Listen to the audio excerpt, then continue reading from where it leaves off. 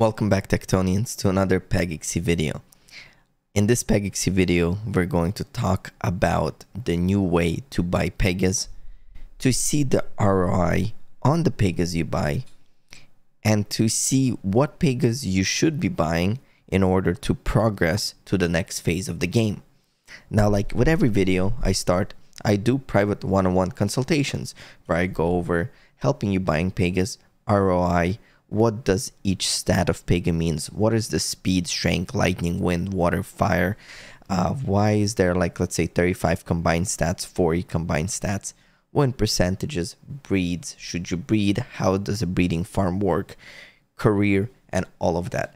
I usually charge for the consultations, but I've been doing them for free to help a lot of new people jump into the game. So if you want uh, to hire me or to tip me or for me to even do the consultation with you for free, my name, the Discord name is down in the description. Go ahead and add me on Discord. I accept invites almost instantly. All right, so let's get started. Let's talk about what's happening in Pegaxy right now as an overall market, as an overall game. What's going on with this? Let's see, this is at, I have it written down at 0.004. PGX is at 0.17. All right, so as a new investor, beginner to the game, you're thinking to yourself, should you jump into the game? Well, the answer is hell yes. The game is very profitable. The return investment is amazing. And you just gotta be patient. Now, if you are in Discord chat, get out of it. J bunch of FUD, bunch of rumors, bunch of negativity happening with the game. The game is brand new. The game is a baby. The game is in beta, four months out, and it's already doing amazing. The team behind it is amazing. Corey could sit on Twitter for three hours talking about the game. Get in the game. Don't let anyone tell you otherwise. All right. And like always, this is not a financial advice. This is my opinion. If you think otherwise, you don't even have to leave a comment. Move on to another YouTube channel. Okay, let's get started. So, you come in, you got your money funded. And if you watch my other videos, I actually show you how to fund the money into the YouTube, I mean, into the Pegaxy. All right, so you got your USDT, right? Now what? Well, now we go to the marketplace and you got this whole marketplace going on, right? There's a couple things you could do. Bloodline, all, Hoz, Campona, Klin, Zan, doesn't matter, keep it at all. Status, can race or can breed.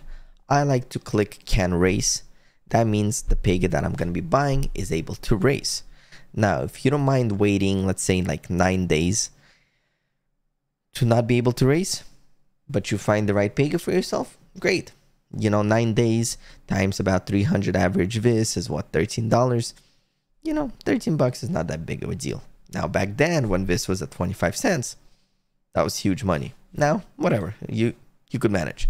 But anyway, I like to click can race. Okay. So now what are we looking at? There's a billion Pegas here. Well, if you don't care about breeding, we're going to jump into, we're going to look at the stats. Now, Corey himself said the game is changing dramatically, completely. Just anything we're doing now, we're going to forget about it, move on to the next part. Now, what he means by that is stats. Stats are going to matter. You do want really good stats, okay? But with that stats, you do want a win percentage, you know, a very solid win percentage with around, for example, let's say 600 races. That way, that win percentage is not going to be going crazy. Not going to go, you know, one win is going to boost to 26%, a loss is going to bring it to 19. You want a solid career, solid wins. You look at a racing history. We'll look through like three days. We're going to plug in the numbers and we're going to figure out how much this the horse is earning. Now, why do I say the stats matter? Okay, stats matter a lot. Well, that's because if we go to the roadmap, okay, we are about here. We just, they did notification feature, done. Next is going to be probably sale food. And what they're talking about is this rollout skill based game. And when rollout skill based game comes out, that means stats will matter. Okay.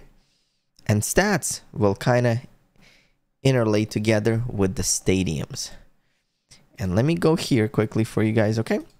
So this is going to be stadium. This is their white paper. And uh, people will be able to sell, let's say, 500 Pegas or convert 500 Pegas and get a stadium. Now, in a stadium, you're gonna race, you know, you and then the person owner of the stadium gets percentage of the ecosystem revenue based on the amount of races on that stadium.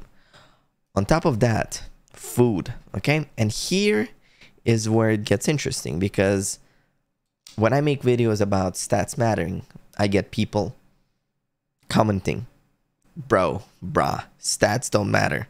You know, stadium could have a good lightning stat, but your pig is gonna have good lightning and water, and water might you know make it worse than you know pure pig with seven lightning, stupid stuff like that, you know. And you know, whatever they're entitled to opinion, I'm entitled to opinion. But if you look at the formula here, okay, speed, strength, fire, water. Anyway, when you get the food, okay, you could actually you know, let's say sacred nectar or, you know, dragon carrot increases 1% speed and it will reduce 1% strength. Okay. So if you have nine stats across the board, that is amazing Pega. Because if you want to race it on a track that, let's say, is water, you already have water. You don't really need to waste money on food. Okay? The food literally tells you here. This is all, you know, speculations. This is just white paper. But it tells you that food, if you use food, it increases stats. If anything increases stats, that means it's better. It is here on the white paper. So do not come in here tell me that stats don't matter. They're just hinting it. It's here. Stats will matter. So guys, please, please, please do your own research. You don't even have to listen to this random guy, you know, yapping. It's here. Everything is pretty much on the white paper. You could kind of understand what's going on. Same with gear. You know, you buy gear, it will increase your strength. You know, for example, and then chest plate will remove 1% speed or fire but increase strength. So things like that, you get to build your Pega towards the certain stadium. But if you right away get a Pega with good stats, you don't have to waste all this extra stuff that you're gonna have to use to buy gear, to buy food, and all that stuff. So we're gonna go back to the market. Do not just come in and buy a random floor price Pega, okay? Don't do that. Does not help you in any form or way or anything like that, okay? Look for good stats, okay? Look for good career stats. Look for good win percentage. Cool, guys? Like I said, I could help you out. Message me on Discord. If you don't want my help, you know, do your own research. Don't go into general chat on Discord. Read what's going on there. Have these people are clueless. The game has so much more to it than just buying Pegas, okay, and racing. There's breeding, there's breeding farms, there's there's a lot of things that happening. There's a lot of things that are gonna happen soon, okay? And especially when they introduce you know, voting with PEG, uh, PGX, and I'm not even gonna get into that stuff. Anyway, guys, if this video gives you some sort of light and idea on what's going on with the game, or kind of made you understand some of the things I'm talking about, give me a, a like. Hit that subscribe button. It does literally help me with YouTube algorithm, and I could keep on making this YouTube videos for you guys. All right. So thank you guys for watching. Techaton here more videos to come. I try to release them every two days. Till then, I'll see you next time. Bye.